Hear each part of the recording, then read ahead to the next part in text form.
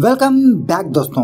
पिछली वीडियो में मैंने जिस मूवी का ज़िक्र किया था, वो मूवी यही है। और इस मूवी का नाम है उरु कुप्रसिद्धा पय्यन, जिसका मतलब है एक बदनाम नौजवान। और ये एक मलयालम मूवी है, जो 2018 में रिलीज़ हुई थी। तो चलिए, बिना टाइम वेस्ट के लेट्स स्टार्ट और उससे पहले अगर आप मेरे चैनल पर नए हैं तो अपना प्यार दिखाइए। अगर पुराने हैं तो और प्यार लुटाइए। तो मूवी की शुरुआत होती है in the year of 2015 June और इस माहौल को देख के हमें ऐसा लगता है कि यहाँ पर शादी हो रही है। अफकोर्स शादी का माहौल है तो आमिज भी होगा। तो कुछ लोग एक भैंस को काटने का काम करने लगते हैं। लेकिन तभी इसके बगल वाली जो भैंस होती है, वो भैंस इस चीज़ को देख लेती है और ये बेफेलो घबरा जाती है और अपने रस्सियाँ तोड़ते हुए वहाँ से भागने लगती है। सारे लोग उसके पीछे लग जाते हैं उसे पकड़ने के लिए। और उसी वक्त हमारे हीरो की एंट्री होती है और इसका नाम है अजय। तो खैर, इस तरह से अजय और उस भैंस के बीच काफ़ी सारी हाथापाई होती है। तो फाइनली अजय उस भैंस को अपने कंट्रोल में ले लेता है। और बचे कुचे लोग उस भैंस को पकड़ते हैं और अजय को साइड में ढकेल देते हैं। ये काम करने की वजह से कोई भी एक बंदा अजय को थैंक यू तक नहीं बोलता। बस अजय को कचरे की तरह निकाल के फेंक देते हैं। और यहाँ पर बात यह है कि अजय बहुत ही भोला बंदा होता है। और जब रात का वक्त आता है तो सारे गर्ल्स दुल्हन के पास जाकर सेल्फी लेने लगते हैं। और तभी उसी वक्त वहाँ पर अजय आता है। और एक्चुअली अजय उमा नाम की एक लड़की को बहुत पसंद करता है। तो अजय धीरे धीरे करते हुए उमा का हाथ छूता है। ये बात उमा को बिल्कुल भी पसंद नहीं आती। वो अजय को डांटने लगती है। उमा की डांट सुनने के बाद बेचारा अजय मायूस होकर अपना सर झुका के वहाँ से चला जाता है। खैर, दूसरे सीन में एक औरत का इंट्रोडक्शन होता है और इसका नाम है चामुंडेश्वरी। और चामुंडेश्वरी का एक कैटरिंग का बिज़नेस है। वो सुबह सवेरे इडली वगैरह पकाती है और अजय चामुंडेश्वरी के पास आता है इडली लेने के लिए। अब अजय के बारे में बात करें तो अजय का इस दुनिया में कोई भी नहीं है। एक अनाथ है। लेकिन चामुंडेश्वरी अजय को अपने बेटी की तरह देख रही होती है। उसे बहुत प्यार करती है और अजय उन इडलीस को लेकर अपने होटल जाता है, जहाँ पर ये काम करता है और इस होटल का मालिक होता है अशरफ। और उसी होटल के रसोड़े में एक लड़की काम करती रहती है और इसका नाम है जलजा। और अजय ने कल जो कांड किया था शादी में मतलब उसने उमा का हाथ पकड़ा था, वो सारे लोगों को पता चल चुका है। और ये सारी चीज़ बोलने वाली जलजा ही थी। और होटल के सारे लोग अजय से यही पूछने लगते हैं, क्या तुमने सच में उमा का हाथ पकड़ा? और इवन दो चामुंडेश्वर भी अजय से यही सवाल किया था तो इन सारे लोगों के सवाल सुनने के बाद बेचारा अजय शर्मिंदा हो जाता है। खैर, थोड़ी देर बाद चामुंडेश्वरी अशरफ के होटल आती है अपना हिसाब किताब लेने के लिए मतलब पैसे वगैरह लेने के लिए। और चामुंडेश्वरी अजय से यही कहती है कि तुमको एक महीना रेस्ट है, मैं एक महीने के लिए दूसरे गाँव जा रही हूँ। और जब चामुंडेश्वरी अपने घर जा रही होती है तो रास्ते में इसको जलजा दिखती है। तो चामुंडेश्वरी जलजा को अजय के बारे में बताने लगती है कि तुम उसे प्यार से बात करो, उसे तुम तंग मत करो। इस दुनिया में इसका कोई भी नहीं है। खैर, जब रात होती है तो चामुंडेश्वरी की पड़ोसन चामुंडेश्वरी की चीखने की आवाज़ सुनती है। वो फ़ौरन अपने पति भास्कर को उठाती है। इस तरह से इधर उधर के लोग जब चामुंडेश्वरी के घर जाते हैं तो वहाँ पर चामुंडेश्वरी घायल होती है। इसे देख के ऐसा लगता हो, कोई इसे मार के चला गया। भास्कर उसका एक और पड़ोसी इधर उधर छान मारते हैं, लेकिन इन दोनों को वहाँ पर कोई भी नज़र नहीं आता। खैर, थोड़ी देर बाद एंबुलेंस और पुलिस वहाँ पर आती है और चामुंडेश्वरी को हॉस्पिटल वगैरह ले जाती है। उसके बाद भास्कर और कुछ लोग अशरफ के होटल आते हैं, जहाँ पर अशरफ को ये बात पता चलती है कि चामुंडेश्वरी को किसी ने मार दिया। और अफकोर्स ये बात अजय भी सुन लेता है। ये सुनने के बाद बेचारे अजय का दिल टूट जाता है। और यहाँ पर हॉस्पिटल में जब चामुंडेश्वरी का ट्रीटमेंट हो रहा होता है, उसी वक्त चामुंडेश्वरी की मौत हो जाती है। खैर, दूसरे दिन पुलिस वाले और फॉरेंसिक टीम चामुंडेश्वरी के घर आते हैं, जहाँ पर पुलिस वालों को एक पिल्लो के नीचे कुछ पैसे दिखते हैं। और इसी तरह अलमारी में कुछ पर्स वगैरह होते हैं। तो इन सारे चीज़ों को पुलिस अपने कस्टडी में ले लेती है। उसके बाद पुलिस एक के बाद एक चामुंडेश्वरी के बारे में पूछने लगते हैं। और सारे लोगों का यही कहना होता है कि चामुंडेश्वरी बहुत अच्छी औरत थी और उसका कोई एनिमी नहीं था। और इसी पूछताछ के दौरान अजय को भी बुलाया जाता है। तो पुलिस अजय से चामुंडेश्वरी के बारे में पूछने लगती है। अजय पुलिस वालों को अपना एक इंसिडेंट बताने लगता है कि एक दिन अजय चामुंडेश्वरी के घर गया था इडली लेने के लिए, जहाँ पर उस वक्त चामुंडेश्वरी बहुत फूट फूट के रो रही थी। और जब अजय यही सवाल चामुंडेश्वरी से किया था तो चामुंडेश्वरी बहुत गुस्सा हो गई और अजय पर भड़कने लगी और उसे अपने घर से बाहर जाने के लिए कहती है। ये सुनने के बाद अजय का दिल टूट जाता है और बेचारा मायूस होकर वहाँ से चला जाता है। और जब दूसरे दिन अजय चामुंडेश्वरी के घर आता है इडली लेने के लिए तो उस वक्त चामुंडेश्वरी अजय से बहुत ही प्यार से बात करती है। उसे कॉफ़ी देती है, चाय वगैरह देती है और उसे अपने घर के अंदर भी बुलाती है। इस तरह से धीरे धीरे करते हुए इन दोनों में माँ बेटे का रिश्ता बन चुका था और चामुंडेश्वरी अजय से बहुत बातें किया करती थी। लेकिन जब कभी भी चामुंडेश्वरी अपने गाँव के बारे में बात करती तो वो मायूस हो जाती थी। लगता था चामुंडेश्वरी के गाँव में कुछ प्रॉब्लम्स थी। बचपन में ही चामुंडेश्वरी की माँ की मौत हो चुकी थी। और बहुत ही मुश्किल से चामुंडेश्वरी इस गाँव आई और अच्छे से ज़िंदगी गुजार रही है। और इसी बातों ही बातों में चामुंडेश्वरी अजय को अपने प्यार के बारे में बताने लगती है कि ये किसी से प्यार किया करती थी, लेकिन इसका प्यार इसे नहीं मिला। और उसी तरह चामुंडेश्वरी अजय को एक छोटा सा मैसेज देने लगती है कि, अजय, अगर तुमने किसी से प्यार किया है, अगर वो लड़की भी तुमसे प्यार करती है, और अगर सारी दुनिया तुम्हारे खिलाफ हो जाए तो तुम उस लड़की का हाथ बिल्कुल भी मत छोड़ना। वरना वो दर्द तुम बर्दाश्त नहीं कर पाओगे। इस तरह से अजय अपना बयान देके वहाँ से मायूस होकर जाने लगता है। मतलब अजय की लाइफ में एक लौती चामुंडेश्वरी ही थी, जो अजय से बहुत प्यार किया करती थी। लेकिन आज इसके साथ वो भी नहीं है। तो अजय चामुंडेश्वरी को याद करते हुए चामुंडेश्वरी के घर जाता है और अपनी पुरानी यादों को अपनी माँ को याद करने लगता है। खैर, इस तरह से सात आठ महीने गुजर जाते हैं। लेकिन अभी भी पुलिस इंक्वायरी में ही लगी रहती है। जिसकी वजह से इस पुलिस वाले के ऊपर इसका हायर ऑफिसर प्रेशर डालने लगता है। और इसी तरह कुछ लोग पुलिस स्टेशन के बाहर धरना कर रहे होते हैं कि जल्द से जल्द चामुंडेश्वरी के केस को सीबीआई को सौंप दिया जाए। We want justice. खैर, उसके बाद एक और बंदे का इंट्रोडक्शन होता है और इसका नाम है सुमन। और ये बंदा सीबीआई डिपार्टमेंट से है। और फ़िलहाल चामुंडेश्वरी का केस सीबीआई के हाथ में चला गया। उसके बाद सुमन जो लोग धरना कर रहे होते हैं, उनके पास आता है। और उन लोगों को बताने लगता है कि आप लोग फ़िक्र मत कीजिए। अब चामुंडेश्वरी का केस हमारे हाथ में आ चुका है। लेकिन इसके बावजूद भी उस धरने में एक लड़की होती है, वो लड़की सुमन को वार्न करने लगती है। अगर आप लोगों ने भी चामुंडेश्वरी के कातिल को नहीं पकड़ा तो हम इससे भी ऊपर जाएँगे।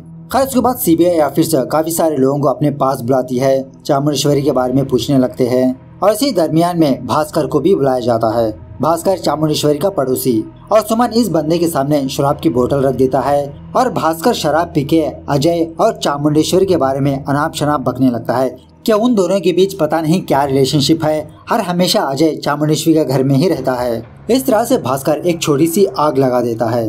तो सीबीआई ऑफिसर्स उसी तरह से अजय को अपने पास बुलाते हैं, उससे सवाल करने लगते हैं। हमने सुना है कि तुम्हारे और चामुंडेश्वरी के दरमियान नाजायज संबंध है। क्या ये सही है? ये सुनने के बाद अजय को बहुत गुस्सा आता है और ऊँची आवाज़ में सुमन से कहने लगता है, नहीं सर, वो मेरी माँ जैसी है। और अजय उसी तरह से एक दिन का इंसिडेंट बताने लगता है कि एक दिन चामुंडेश्वरी अजय को लेकर किसी टेंपल गई थी। वहाँ पर चामुंडेश्वरी ने किसी बंदे से मुलाकात की थी। तो इस तरह से जब कभी भी चामुंडेश्वरी को काम होता तो वो अजय को बुला ले जाती। खैर, इस तरह से और कुछ बातें पूछने के बाद अजय को वहाँ से भेज दिया जाता है। और जब बेचारा अजय अकेला होता है तो इसके पास जलजा आती है। और इसे हौसला देने लगती है कि तुम फ़िक्र मत करो, मैं तुम्हारे साथ हूँ, तुम्हें कुछ भी नहीं होगा। इस तरह से कहते हुए जलजा अजय को हक करती है, उसे किस करती है, अपना प्यार जताती है। तब जाके अजय को थोड़ी बहुत तसल्ली होती है हाँ इस दुनिया में मेरा भी कोई है, मुझे प्यार करने वाला। खैर, दूसरे दिन एक ऑफिसर सुमन के पास आता है और वो अजय के बारे में बताने लगता है कि अजय का इस दुनिया में कोई नहीं है, वो एक अनाथ है। और कुछ दिनों पहले अजय ने किसी बंदे को चाकू से हमला किया था। लेकिन कोई भी शख्स इसके ऊपर कम्प्लेन नहीं किया। सर, हम जिस बंदे को ढूंढ रहे हैं, वो बंदा यही है। ये सुनने के बाद सुमन एक नया प्लान बनाता है। खैर, उसके बाद सुमन एक बंदे को पुलिस स्टेशन बुलाता है और इसका नाम है समीर। और सुमन को ये बात पता चली थी कि समीर ड्रग्स का बिज़नेस करता है। और समीर से कहने लगता है, अगर तुम इस मामले से बचना चाहते हो तो जो मैं कह रहा हूँ, उसी तरह तुम अपना बयान दो। तो समीर उसी तरह से एक बयान देता है। उसके बाद सीबीआई वाले ताजुद्दीन नाम के एक बंदे के पास जाते हैं। उससे पूछताछ करने लगते हैं। पुलिस वाले जाने के बाद अजय ताजुद्दीन के पास आता है। मतलब ताजुद्दीन का हालचाल पूछने के लिए। तो ताजुद्दीन अजय को देख के अजय से कहने लगता है, अरे, तुम यहाँ पे क्या कर रहे हो? क्या तुम्हें पता है, पुलिस तुम्हें ढूंढ रही है। तुम एक काम करो, तुम इस सिटी से कहीं दूर चले जाओ। मैं जाने का इंतज़ाम करता हूँ। कल सुबह तुम मच्छी मार्केट में मेरा इंतज़ार करना। मैं तुम्हें वहीं पर मिलूँगा। तो अजय उसी तरह से जलजा को अपने बारे में बताने लगता है कि वो कल सुबह दूसरे गाँव जा रहा है और वो जलजा को भी बुलाता है। लेकिन जलजा अजय से कहने लगती है, मैं आऊँगी, लेकिन अभी नहीं। पहले तुम वहाँ पर जाके अपना काम ढूंढो और उसी तरह मेरे लिए एक काम भी ढूंढो। तब हम हँसी खुशी अपनी ज़िंदगी वहाँ पर गुजार लेंगे। तो दूसरे दिन अजय मच्छी मार्केट जाता है, वहाँ पर थोड़ा बहुत काम करने लगता है और उसी तरह वो ताजुद्दीन का वेट करते रहता है। और तभी वहाँ पर अजय के फ्रेंड्स आते हैं और अजय को घेर लेते हैं और उसे कहने लगता है, क्या तुम्हें पता है, पुलिस तुम्हें ढूंढ रही है? पुलिस कह रही है कि तुमने ही चामुंडेश्वरी का कत्ल किया और अजय तुम्हारी वजह से हम लोग फंस रहे हैं। बार बार पुलिस हमारे घर आकर तुम्हारे बारे में पूछ रही है। इस तरह से कहते हुए अजय के फ्रेंड्स अजय के हाथ पकड़ लेते हैं। लेकिन अजय अपने फ्रेंड्स को बताने लगता है कि मैं कहीं पर भागने वाला नहीं हूँ। प्लीज़ मेरे हाथ छोड़ो। और देखते ही देखते तभी वहाँ पर ताजुद्दीन भी आता है और ताजुद्दीन भी अजय से यही बात कहने लगता है कि तुमने ही चामुंडेश्वरी का मर्डर किया। और जब अजय के सारे फ्रेंड्स हाथ पैर पकड़ रहे होते हैं तो तभी वहाँ पर सीबीआई की टीम आ जाती है और अजय को अपनी कार में ले जाते हैं। खैर, पुलिस स्टेशन लाने के बाद सुमन अजय से पूछने लगता है कि चोरी किया हुआ पैसा तुमने कहाँ पर छुपाया?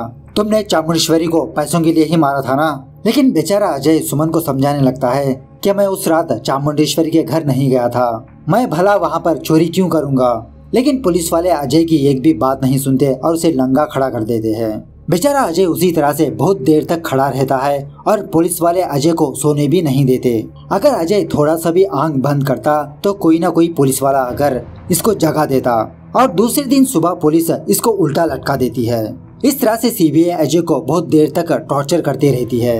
और दूसरे दिन सुबह न्यूज़ चैनल में ये न्यूज़ चलने लगती है कि अजय अलियास अजमल ने चामुंडेश्वरी की हत्या की और अजय वहाँ पर चोरी के इरादे से गया था। और जब अजय के दोस्त अजमल का नाम सुनते हैं तो ये लोग शौक में रह जाते हैं। ये क्या, अजय का दूसरा नाम अजमल है? उसके बाद सुमन अशरफ के पास आता है और अशरफ को उसके बाप के बारे में याद दिलाने लगता है कि कई सालों पहले अशरफ के फादर ने एक होटल रखी थी। उस होटल में एक इंडियन मैप था, लेकिन उस मैप में कश्मीर नहीं था। जिसकी वजह से कुछ लोगों ने अशरफ के फादर पर केस ठोक दिया और अशरफ के फादर जेल भी जा चुके थे। लेकिन बाद में कोर्ट अशरफ के फादर को रिहा कर दिया। और पुरानी बातें याद दिलाते हुए सुमन अशरफ से कहने लगता है, अब बताओ, क्या तुम मुजरिम का साथ दोगे? या तो फिर तुम भी इस केस में फंसोगे? मतलब इस तरह से सुमन सारे लोगों को मैनिपुलेट करते रहता है, और वो भी अजय के खिलाफ। खैर, दूसरे दिन सुमन अजय को किसी जगह पर लाता है, किसी लेक के पास, और उसे पूछने लगता है, बताओ, तुमने उस चाकू को कहाँ पे फेंका?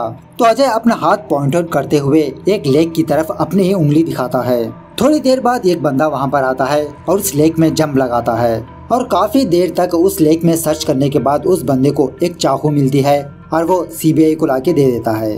और सुमन मीडिया के सामने कहता है कि अजय ने इसी चाकू से चामुंडेश्वरी का कत्ल किया। उसके बाद सुमन अजय को उसके रूम ले जाता है, जहाँ पर वो एक अलमारी ओपन करने के लिए कहता है और उस अलमारी में एक कवर होता है और उस कवर में एक टी शर्ट और एक पर्स होता है। और ये पर्स चामुंडेश्वरी का था। मतलब सुमन और उसकी टीम जानबूझ के अजय को इस केस में फंसा रही है। खैर, उसके बाद सुमन और उसकी टीम अजय को जेल लाते हैं और जेल में भेजते हुए उसे कहने लगते हैं, अब तुम्हारी सारी ज़िंदगी यहीं पर गुजरने वाली है। लेकिन अजय जेल के अंदर जाते जाते सुमन से कहने लगता है कि मेरे जैसे मासूमों के लिए ऊपर वाला ज़रूर कोई ना कोई शख्स को भेजेगा। उसके बाद एक बंदी का इंट्रोडक्शन होता है और उसका नाम है हरिता और एक लॉयर है। जो रिसेंटली अपनी डिग्री हासिल करके रेगुलरली कोर्ट आती रहती है, ताकि हरिता को कोई ना कोई केस इसे मिल जाए। और उसी दिन अजय की केस की भी सुनवाई होती है। और जब अजय आता है तो जज अजय को उसकी उम्र पूछता है कि तुम्हारी उम्र कितनी है? लेकिन बेचारे अजय को उसकी उम्र तक नहीं पता होती। और राय जज से कहने लगता है कि जज साहब और कुछ डॉक्यूमेंट्स और कुछ रिपोर्ट्स आना बाकी है। ये सुनने के बाद जज इस केस को कुछ दिनों बाद स्थगन कर देता है। और जेल में अजय का एक साथी अजय से कहने लगता है कि तुम जज साहब को एक लेटर लिखो कि तुम्हें पॉलीग्राफ टेस्ट करवाए। और उससे ये बात पता चल जाएगा कि तुम कातिल नहीं हो। और जब कुछ दिनों बाद फिर से कोर्ट में सुनवाई होती है तो अजय एक छोटे से पेपर में एक छोटा सा पैराग्राफ लिख के जज के सामने पेश करता है। ये देखने के बाद वो जज अजय से पूछने लगता है, क्या तुम्हारे पास कोई लॉयर नहीं है? क्या तुम्हारे लिए कोई लॉयर अपॉइंट करूँ? ये सुनने के बाद बेचारा अजय कुछ भी नहीं कहता, वो बस हाथ जोड़ने लगता है और वो जज समझ लेता है और हरिता को ये केस अपॉइंट करता है। लेकिन ये तो एक मर्डर केस है और हरिता का ये पहला केस होगा। तो हरिता घबराने लगती है और जज साहब को मना करने लगती है। लेकिन जज हरिता को समझाने लगता है कि सच क्या है, झूठ क्या है, हमें बिल्कुल भी पता नहीं है। लॉयर्स का काम होता है सबूतों को ध्यान में रखते हुए लड़ना। तुम बस वो काम करो। खैर, किसी भी तरह करके हरिता मान लेती है और हरिता चामुंडेश्वरी के केस की फ़ाइल अपने घर ले जाकर उस केस को स्टडी करने लगती है, जहाँ पर ये स्टेटमेंट होता है कि उस दिन जब चामुंडेश्वरी सो रही थी तो अजय चोरी चुपके चामुंडेश्वरी के घर आया और उसके पिल्लो से पैसे चुराने लगा। लेकिन तभी चामुंडेश्वरी की आँख खुल गई और वो अजय को रोकने की कोशिश की। लेकिन इसी हाथापाई के दौरान अजय ने चामुंडेश्वरी को एक चाकू से बहुत बुरी तरह से कत्ल कर दिया। मतलब इस तरह से सीबीआई ने ये स्टेटमेंट बनाया था। और जब कभी भी हरिता को ऐसी प्रॉब्लम आती तो हरिता एक बंदे के पास जाती। और इस आदमी का नाम है भरत, और ये भी एक लॉयर था। और भरत से कहने लगती है कि चामुंडेश्वरी के केस को मेरे हाथ में सौंपा गया है। प्लीज़ सर आप ही मेरी हेल्प कीजिए, कुछ गाइड कीजिए। खैर, भरत हरिता को क्रिकेट का एग्ज़ाम्पल देते हुए उसका हौसला बढ़ाने लगता है। तो वहाँ से हरिता अजय के पास आती है, और उस वक्त अजय एक हॉस्पिटल में होता है, और वो जख्मी होता है। और अजय को अपना इंट्रोडक्शन बताते हुए अजय से कहने लगती है कि मैं ही तुम्हारा केस लड़ रही हूँ। मैं तुम्हारी लॉयर हूँ। और हरिता अजय से पूछने लगती है कि ये तुम्हारी ऐसी हालत कैसे हुई? अजय हरिता को बताने लगता है कि कल रात जब ये सो रहा था तो कुछ लोग इसका मुँह दबाकर इसका रेप करने लगे। और उसी तरह अजय को बहुत बुरी तरह से मारा पीटा भी। उसके बाद हरिता अजय से पूछने लगती है, अगर तुमने चामुंडेश्वरी की हत्या नहीं की तो तुम्हारे रूम में वो पर्स और वो चाकू कहाँ से आई? तो बेचारा अजय रोते हुए हरिता से कहने लगता है, मुझे नहीं पता मैडम, लेकिन हाँ मुझे उस चाकू के बारे में पता है, क्योंकि मैंने ही उस चाकू को उस लेक में फेंका था ना। मतलब एक दिन पहले सीबीआई टीम ने अजय को उस लेक के पास ले गई थी। उसके हाथ में एक चाकू थमा दिया और उससे कहा था कि तुम इस चाकू को उस लेक में फेंक दो और तुम उस जगह को याद रखो।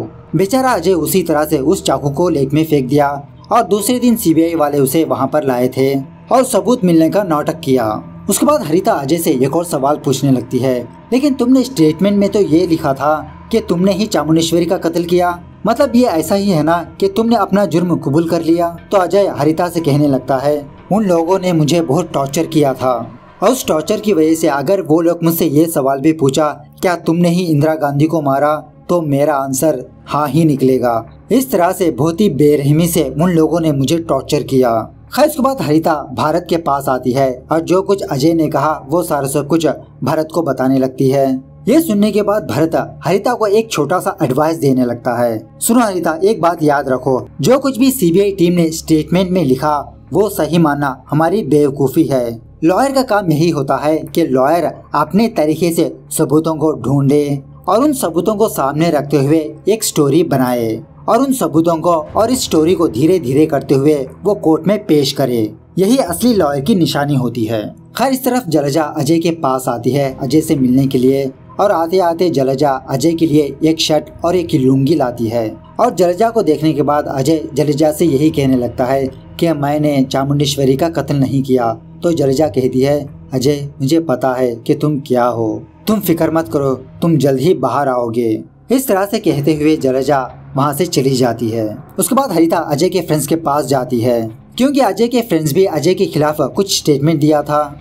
और अजय के फ्रेंड्स साफ़ कहने लगते हैं कि जो कुछ भी सीबीआई ने हमसे कहने के लिए कहा था, हमने उसी तरह से स्टेटमेंट दिया। खैर, उसके बाद हरिता फिर से अजय के पास जाती है। और इस बार हरिता चामुंडेश्वरी के बारे में सवाल पूछने लगती है, क्या तुम्हें किसी पर शक है? क्या चामुंडेश्वरी का कोई एनिमी है? ये सुनने के बाद अजय उस दिन का वाकया सुनाने लगता है। जब चामुंडेश्वरी ने अजय को अपने साथ टेंपल ले गई थी, वहाँ पर चामुंडेश्वरी ने एक बंदे से मुलाकात की थी। उस बंदे से बात करने के बाद चामुंडेश्वरी अजय के पास आकर एक नंबर लगाने के लिए कहा और चामुंडेश्वरी अपने फ़ोन से किसी से बात कर रही थी और उसी तरह वो रो भी रही थी। मैंने पूछा नहीं था मैडम कि वो किससे बात कर रही थी और मामला क्या है।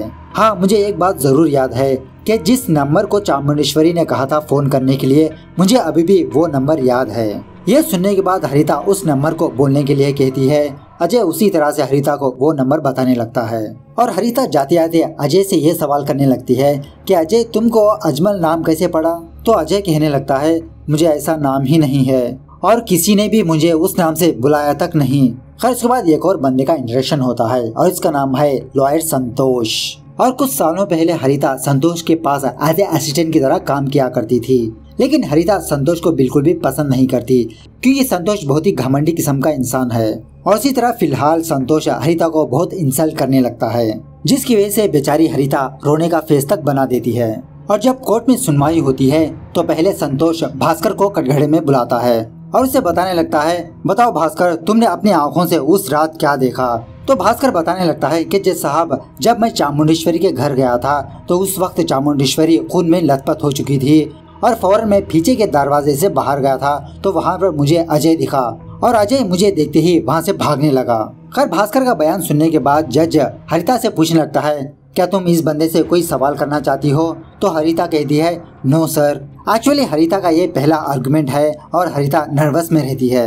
उसके बाद संतोष एक ऑटो ड्राइवर को कटघरे में बुलाता है। और उसे पूछने लगता है, तुम जज साहब को बताओ, उस रात तुमने क्या देखा? तो एक्चुअली उस रात जब वो बंदा अपने ऑटो से कहीं पर जा रहा था तो इसका ऑटो अचानक से स्टॉप हो गया। तो उसी रास्ते से अजय अपने कांधे पर सीढ़ी लेकर वहाँ से जा रहा था। तो अजय ने उस सीढ़ी को नीचे रखकर उस आदमी की मदद की, उसके ऑटो को धक्का दिया।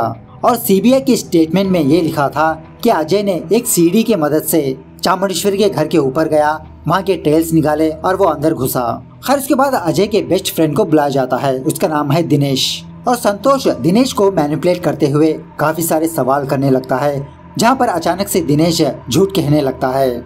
और जिस दिन चामुंडेश्वरी का कत्ल हुआ था, उस दिन अजय अपने होटल में नहीं था। इस तरह से संतोष काफ़ी सारे लोगों को कटघरे में बुलाता है, उनसे सवाल करने लगता है। और सारे लोगों का एक ही जवाब होता है कि अजय को चोरी करने की आदत थी। वो जब जब छोटे मोटे चीज़ें चुराता था और इतने सारे गवाहों के बाद हरिता अशरफ से क्रॉस एग्जामिन करने के लिए रेडी हो जाती है और उसे कहने लगती है, देखो अशरफ सीबीआई के स्टेटमेंट में ऐसा लिखा हुआ था कि पहले अजय ने तुम्हारे होटल से बाहर गया, वो चामुंडेश्वरी के घर गया, वहाँ पर चामुंडेश्वरी का कत्ल किया और उस चाकू को किसी लेक में फेंक कर अपने कपड़े बदल कर फिर से वो तुम्हारे होटल आया। जब तुमको चामुंडेश्वरी की बात पता चली थी, उस वक्त क्या अजय फ्रेश था या तो फिर जो काम करने की हालत थी, उस हालत में था। ये सवाल सुनने के बाद अशरफ अजय की तरफदारी करने लगता है कि उस वक्त अजय मेरे होटल में ही था। मेरे होटल से वो कहीं पर भी बाहर नहीं गया था। खैर, इस तरह से पहला दिन खत्म होता है और जब अजय बाहर आता है तो अजय अपनी माँ से मुलाकात करता है। एक्चुअली अजय की ये माँ नहीं है। अजय को किसी ने जन्म देके कहीं पर छोड़ दिया था। उसके बाद में एक सिस्टर अजय को पाला पोसा बड़ा किया और वो सिस्टर यही है। मतलब अजय की माँ भी अजय पर भरोसा नहीं करती है। खैर, उसकी माँ जाने के बाद दिनेश रोता हुआ अजय के गले लगता है और उसे कहने लगता है सॉरी यार, मुझे सीबीआई वालों ने बहुत डराया, धमकाया। अगर कोर्ट में मैंने ऐसा नहीं कहा तो वो लोग मुझे भी इस केस में फंसा देंगे। यह सुनने के बाद बेचारा अजय दिनेश से कहने लगता है, कोई ना यार, छोड़ो। अगर तुम भी इस केस में फंस जाते तो तुमको भी सफ़र होना पड़ता। अब देखो, मैं खुद सफ़र हो रहा हूँ। तुम फ़िक्र मत करो। दूसरे दिन हरिता अजय के दिए हुए नंबर को लेकर टेली कम्युनिकेशन ऑफ़िस जाती है, उस नंबर के बारे में अता पता करने के लिए। जब दूसरे दिन कोर्ट में सुनवाई होती है तो हरिता एक डॉक्टर को कटघरे में बुलाती है। मतलब एक पोस्टमार्टम करने वाली डॉक्टर होती है। और हरिता इस चाकू को दिखाकर उस डॉक्टर से पूछने लगती है, क्या इस चाकू से वो जख्म किया जा सकता है जो चामुंडेश्वरी के बॉडी पर थे? इस तरह से हरिता उस डॉक्टर से कुछ और सवाल कर रही होती है, लेकिन तभी संतोष अपने सीट से खड़ा होता है और हरिता के सारे सवालों पर पानी फेर देता है। मतलब संतोष उस डॉक्टर से एक ही सवाल करके उसे वहाँ से भेज देता है। इस तरह से चाकू को लेकर बहुत सारी आर्गुमेंट चलने लगती है। नथिंग इज़ इम्पोर्टेंट हियर और जब आर्गूमेंट खत्म होता है तो हरिता बाहर आती है और जलेजा हरिता से मुलाकात करने लगती है और हरिता से कहने लगती है, देखिए मैडम, चंद दिनों में मुझे लोन आने वाला है। जब वो लोन आएगा तो मैं आपको आपकी फ़ीस लौटा दूँगी। प्लीज़ मैडम, आप अजय के केस को लड़ने में कोई भी कसर ना छोड़िए। अगर फ़ीस की कमी हो तो मैं आपको पे करूँगी। दूसरे दिन हरिता इस पुलिस वाले को कटघड़े में बुलाती है, जो सीबीआई से पहले चामुंडेश्वरी के केस को इन्वेस्टिगेशन कर रहा था। और हरिता चामुंडेश्वरी के पर्स को दिखाकर उस पुलिस वाले से पूछने लगती है कि जब आप चामुंडेश्वरी के घर गए थे, उसके घर की तलाशी लेने के लिए, क्या आपको ये पर्स वहाँ पर मिला था? तो पुलिस वाला कहता है हाँ मिला था। लेकिन जब सीबीआई ने इस केस को इन्वेस्टिगेशन करना स्टार्ट किया तो यही पर्स अजय के अलमारी में कैसे पाया गया? तो वो पुलिस वाला जज को साफ़ कहने लगता है कि ये केस सीबीआई को सौंप दिया गया तो हमने सारे सबूतों को सीबीआई के हाथ में थमा दिया।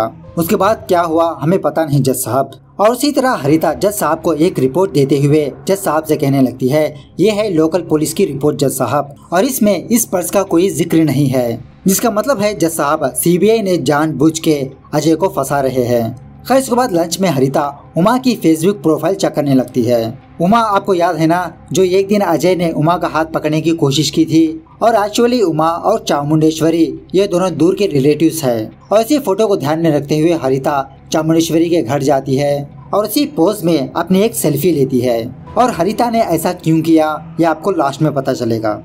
उसके बाद हरिता एक औरत की मदद से जो रेलवे डिपार्टमेंट में काम करती है, उस दिन की पैसेंजर लिस्ट मंगवाती है, जिस दिन चामुंडेश्वरी दूसरे गाँव जाने वाली थी।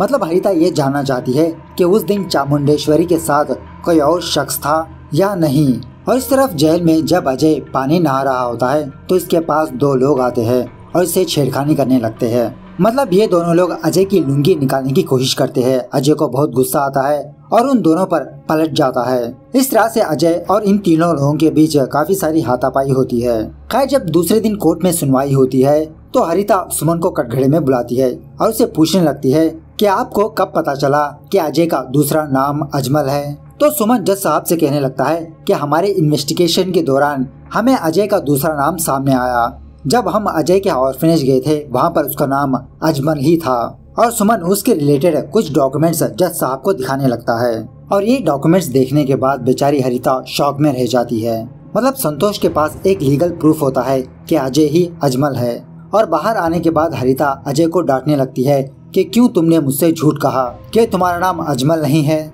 और अजय फिर से यही कहने लगता है, मुझे पता नहीं कि मेरा नाम वो कैसे पड़ा। जब मैं छोटा बच्चा था तो एक बंदा मुझे उस ऑर्फनेज में छोड़ा था। लेकिन उस ऑर्फनेज में वो लोग मुझे अजमल कहकर नहीं बुलाते थे। वहाँ के लोग मुझे कुछ दूसरे नाम से बुलाते थे। और जल्दबाजी में अजय एक नाम कहने लगता है। वो है अमू और तभी पुलिस आकर अजय को ले जाती है। और यहाँ पर हमें ये बात पता चलती है कि हाँ अजय का दूसरा नाम अजमल था और वो भी ऑर्फनेज में था। खैर, लंच के बाद हरिता इस बंदे को कटघड़े में बुलाती है। ये बंदा वही है, उस दिन लेक में से चाकू निकाला था। एक्चुअली ये बंदा फायर डिपार्टमेंट में काम करता है। और एक दिन सुमन इस बंदे से कहा कि तुम दूसरे दिन लीव ले लो, ऑफ़िस मत जाओ। तुमको दूसरे दिन कहीं पर जाना है। मतलब इस बंदे को ऑलरेडी पता था कि ये बंदा उस लेक में उतर के चाकू को निकालेगा। और यही बात ये बंदा जज के सामने बताने लगता है।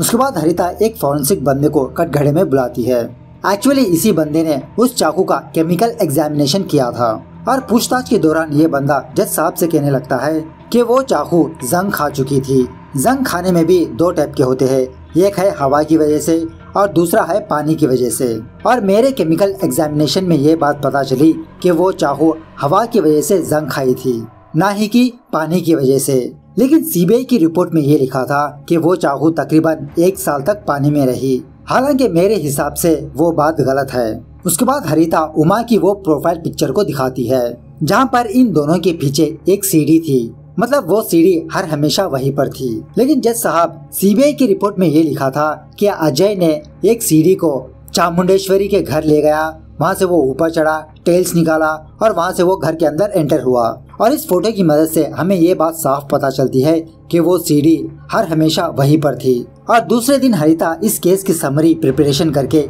जज साहब के सामने पेश करने लगती है। और जज साहब को चामुंडेश्वरी की फ़ोन की लिस्ट दिखाने लगती है और इस लिस्ट में एक नंबर नया होता है। मतलब जिस दिन चामुंडेश्वरी मरी थी, उसी दिन, उसी वक्त एक बंदा चामुंडेश्वरी के फ़ोन को कॉल किया था और वो फ़ोन एक पुलिस वाले ने पिक किया था। और चामुंडेश्वरी को फ़ोन करने वाला परमेश्वर राव नाम का एक बंदा था और एक्चुअल से उस दिन ये दोनों कहीं पर जाने वाले थे। और यहाँ पर मैं आपको एक और बात बता दूँ कि परमेश्वर राव चामुंडेश्वरी का प्यार था। मतलब ये दोनों बहुत सालों बाद मिलने वाले थे, लेकिन इसी दरमियान में ये कांड हो गया। और उसी तरह हरिता जज साहब को एक बेंगलुरु का एडिशन दिखाने लगती है। और इस न्यूज़पेपर में परमेश्वर की एक न्यूज़ होती है। मतलब जब परमेश्वर बेंगलुरु गया था, वो किसी लॉज में था। और उसी लॉज में किसी ने परमेश्वर राव की भी इसी तरह से हत्या कर दी थी। और एक्चुअली चामुंडेश्वरी और परमेश्वर ये दोनों एक ही कैश के नहीं थे। और इसी की वजह से इन दोनों की खानदानों में लड़ाई शुरू हुई। और उस लड़ाई के दौरान चामुंडेश्वरी के गाँव में काफ़ी सारी हत्याएँ हुई, काफ़ी सारे लोग मर भी गए और वो खानदान वाले चामुंडेश्वरी को और उसी तरह परमेश्वर को इधर उधर ढूंढते रहे। जब आइन वक्त पर ये दोनों मिलने वाले थे, तभी किसी ने चामुंडेश्वरी और परमेश्वर की हत्या कर दी अलग अलग जगह पर। इस तरह से हरिता एक रियल स्टोरी जज साहब को सुनाने लगती है। ये कहानी सुनने के बाद संतोष इस कहानी को नहीं मानता, क्योंकि केस की कहानी में और हरिता की कहानी में बहुत सारा डिफरेंस है। खैर, जब दूसरे दिन सुनवाई होती है तो जज अपना फैसला सुनाने लगता है और जज अजय को बाइज्जत बरी कर देता है और इसी तरह उस सीबीआई ऑफिसर सुमन के ऊपर कार्रवाई करने के लिए कहता है, क्योंकि सुमन ने अजय पर फॉल्स एलिगेशन लगाए थे और असली कातिल को पकड़ने के लिए जज इस केस को दूसरे एजेंसी को सौंप देता है। इस तरह से एक छोटी लॉयर एक बड़े लॉयर के ऊपर जीत हासिल करती है। उसके बाद अजय अपने होटल आता है, जहाँ पर काफ़ी सारे लोग अजय को देख के बहुत खुश होते हैं और कुछ लोग अजय से माफ़ी भी मांगने लगते हैं और उसी होटल में तीन बंदे बैठे हुए रहते हैं, जो कुछ दिनों पहले ये तीनों चामुंडेश्वरी के घर आए थे, उससे झगड़ा कर रहे थे। खैर, उसके बाद अजय जलजा के पास जाता है। जलजा अजय को देख के बहुत खुश होती है। इस तरह से ये मूवी यहाँ पर दी एंड होती है। तो मूवी कैसे लगी? कमेंट करके बताना ज़रूर। मिलते हैं अगली वीडियो में। तब तक टेक केयर बाबा सी यू सून